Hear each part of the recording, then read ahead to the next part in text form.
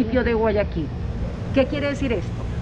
Nosotros ponemos la logística. La logística es todo el personal que vieron junto con la empresa privada. Estamos en el Instituto ITV en este momento con los puntos de vacunación, las mesas de vacunación precisas y los sitios donde viene la prevacunación, la vacunación, la posvacunación.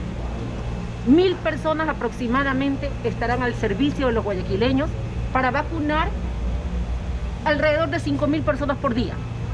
En cuatro meses se prevé terminar la vacunación, pero ojo, repito, todo esto está listo. Sin vacunas no hacemos nada y las vacunas las pone el Ministerio de Salud. Eso es lo más importante. Nosotros empezamos el día de hoy, estamos listos a recibir las personas. No tenemos vacunas hasta el día de hoy. Siendo optimistas, optimistas ¿cuándo? ¿Cuándo llegarían las dosis? Eso habrá que preguntarle al Ministerio de Salud.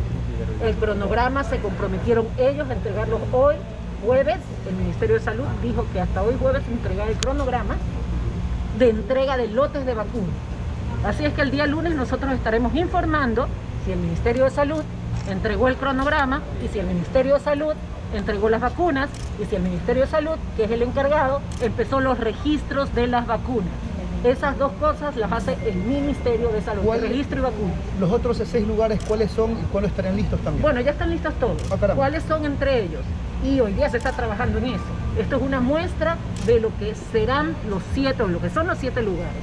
Entre ellos está Solca, por ejemplo, esta es la explanada de, ventas de vehículos de mucho lote, está el Palacio Cristal, está la explanada de Barcelona, está este instituto, está la Universidad Salesiana, también está la Faxo.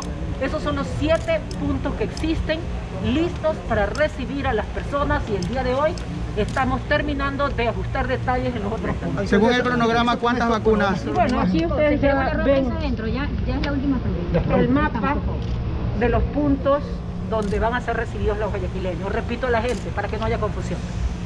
Municipio de Guayaquil listo con la logística. Mil personas y los 300 puntos o 300 cubículos de vacunación con 7 puntos.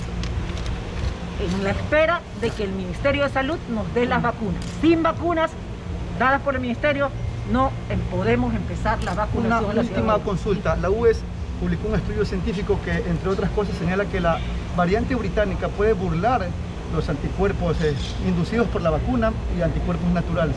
¿Qué opinión merece? Bueno, nosotros vamos paso a paso, que es lo que tenemos en este momento en Guayaquil y a quienes vamos a atender. La variante británica es parte del estudio que también estamos nosotros analizando como mesa técnica. El doctor Salvador aquí presente, que es la cabeza de la mesa técnica médica, tiene en consideración justamente esta variante para las vacunas aplicarse. Pero como les digo, vamos paso a paso. ¿Quién sabe si después de la variante británica salga otra variante? Atendamos a la gente que requiere ser atendida con la realidad que tenemos ahora. Muchas gracias.